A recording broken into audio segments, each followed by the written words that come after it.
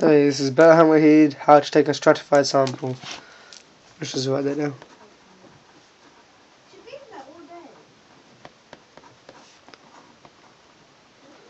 So in statistics, to uh, get information, we have to take samples. Well, because reasons because to take the whole population, sometimes it's very difficult. Other times, lack of money, lack of time.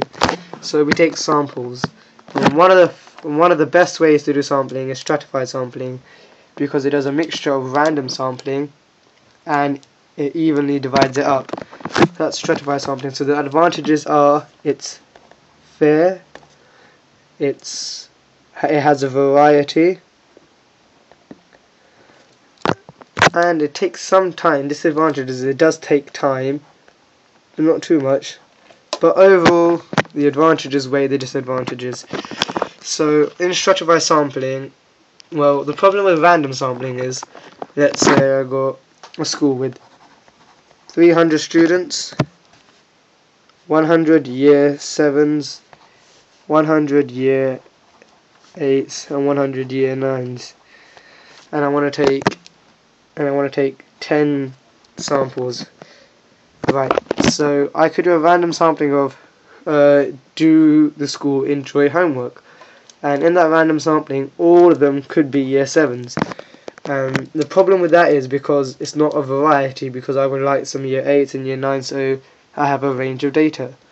But in random sampling, it's random, so it could happen, it couldn't happen. With stratified sampling, this always happens. So stratified sampling works like this. I have 300 students, 100 in year 100 in year 7, 100 in year 8, and 100 in year 9. Right, okay. Stratify sampling does this. So I want to take 10 overall. I do these three. I do 10 divided by 3, which equals 3.3 recurring. Okay. Because we can't exactly have a third of a person, I'll say we're going to do 12. So we're going to change this to 12. So we can have 12 divided by 3, which equals 4. You guys get that? Yeah. So I take 4 out of this 100 randomly, 4 out of this 100 randomly, and 4 out of this 100 randomly. Now with this, I get overall guess. With this I get overall 4 plus 4 plus 4, 12 samples. Like my 12 samples with equal year 9s, equal year 8s, and equal year 7s. Now the reason why this is good because each person has a better chance because in random sampling, like I said, they could all be year 7s, so year 8s and 9s have less chance.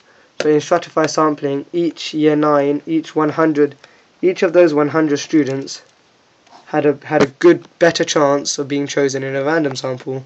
Also, like I said, it got a variety, it's fairer, and if I'm honest, it gives you better data. So the now one thing you do now the reason why it is so good is because you split it into different groups and you take four random people. By doing this, you put all the names in random.org or allocate them on numbers and put all the numbers in random.org. Get four numbers from random.org. Remember that. Random. Get rid of the H. Dot org. So you go on that. Let's type it again. Write it again. Yep. So I use random.org. Type in the numbers. Find four of those 100 and get that. So that's literally it. Thanks guys for listening. See you.